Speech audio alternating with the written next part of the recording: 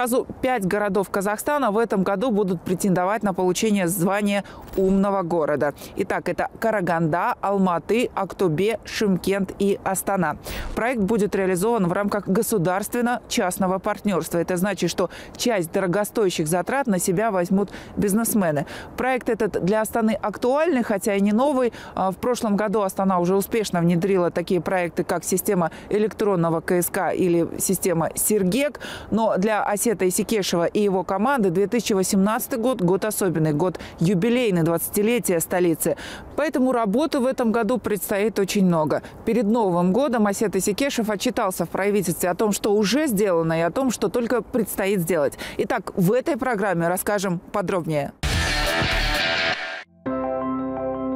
Частные инвестиции в Астане пойдут на организацию сервисной модели информатизации, а использовать разработчики проекта намерены лучшие мировые и отечественные практики бенчмаркинга.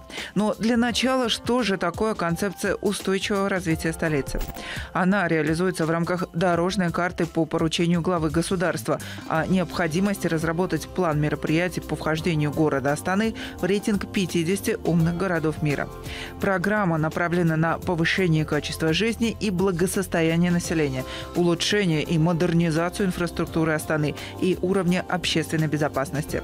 Смарт Астана облегчает взаимодействие граждан с администрацией, предоставляет возможности горожанам для личного и делового развития. Open Data – это портал открытых данных, предназначенных для разработчиков IT-решений. Сейчас он функционирует в бета-режиме, окончательный запуск планируется в течение следующего месяца. Данное решение направлено на развитие казахстанских стартапов и их для решения городских задач. По таким направлениям уже запущена это электронная КСК, дежурная служба 109 в рамках транспортной системы движения автобусов. Проекты на стадии реализации. Их реализация планируется в 2018 году. Первое. Внедрение блокчейн-технологий в земельных отношениях. Сейчас реализуется пилотный проект по внедрению этой технологии в процедуре земельного аукциона – что позволяет обеспечить прозрачность. В первом квартале 2018 года будет завершен пилот и будет рассматриваться внедрение его в других сферах.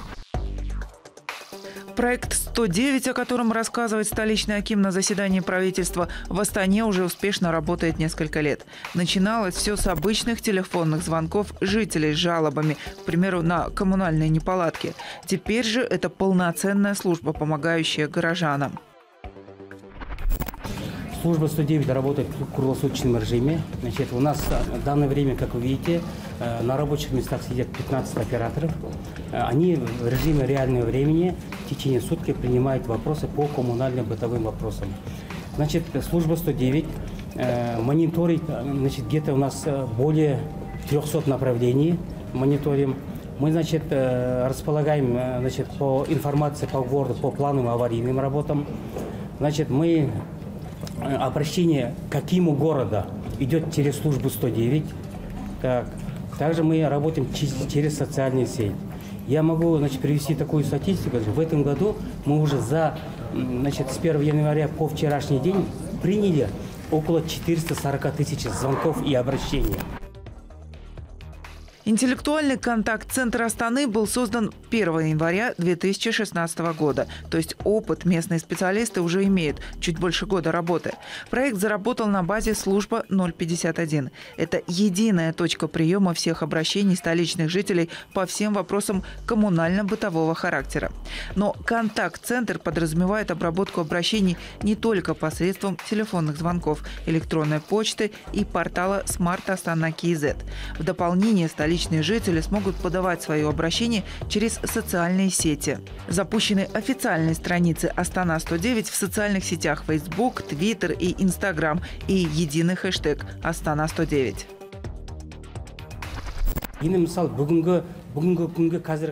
Любая заявка в онлайн-режиме фиксируется и передается исполнителю онлайн в течение 5-10 минут.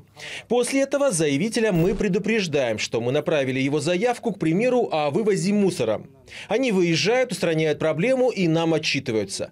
Мы заявителя информируем, и заявка снимается с контроля. Много разных вопросов поступает. Ежедневно порядка двух тысяч.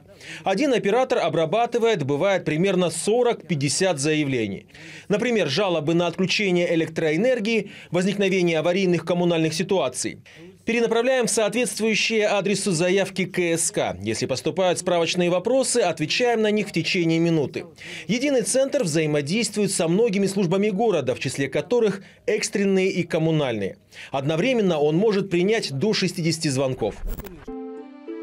Это и есть основа умного города – оперативность, мобильность, отзывчивость на городские проблемы. Ведь в ключевых характеристиках умного города прописан прежде всего комфорт, безопасность, эффективность и экологичность примеру, программа «Смарт Алматы» снизила уровень теневой экономики в казахстанском мегаполисе благодаря обеспечению рыночного функционирования транспортной системы ОНАЙ. Это система электронной платы за проезд в общественном транспорте.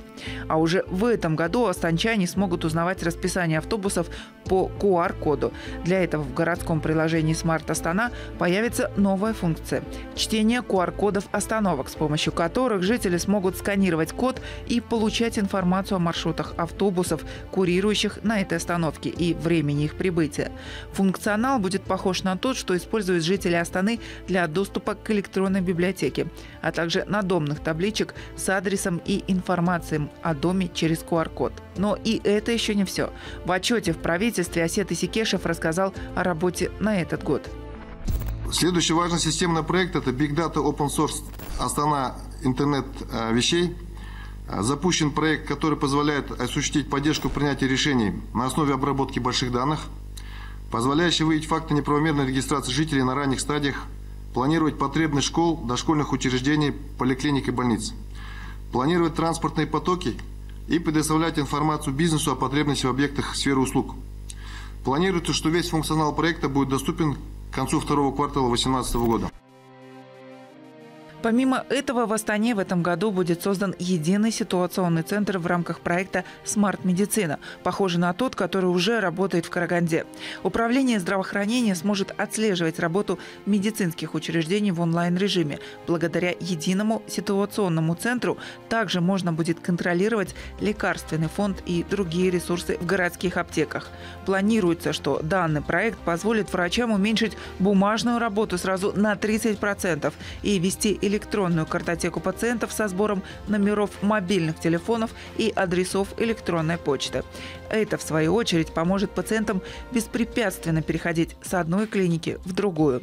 За опыт в том числе возьмут и наработки столичного ситуационного центра. Там уже разработан специальный регламент работы с населением. К примеру, с начала года в службу 109 поступило свыше 440 тысяч обращений граждан. И для каждого обращения свой алгоритм действий. Закрыть крышки колодцев соответствующие службы должны в течение трех часов. Устранить порыв водопровода за полтора на поиск причины отключения отопления выделяется 4 часа, электроэнергии – 2. А отрабатываемость очень хорошая, потому что мы разработали регламент службы. То есть любой вопрос есть регламент. В течение какого времени он должен быть отработанный.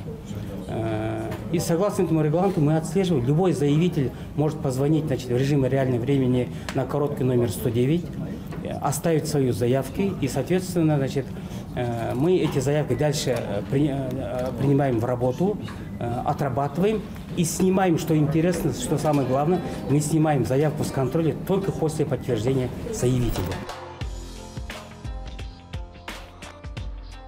И еще один важный вопрос, который получит разрешение с внедрением умных технологий в Астане.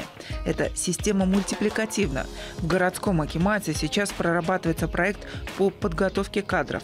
В городе объединят все платформы поддержки стартапов колледжей, чтобы затем разработать специальную программу подготовки IT-специалистов, программистов. Цель программы – довести до тысячи специалистов в год. Кроме того, в 10 школах и 4 колледжах уже начала работать сеть сетевая академия ЦИСКа по подготовке 300 IT-специалистов среди школьников, а в 74 учебных заведениях города открыты классы по робототехнике и электронике.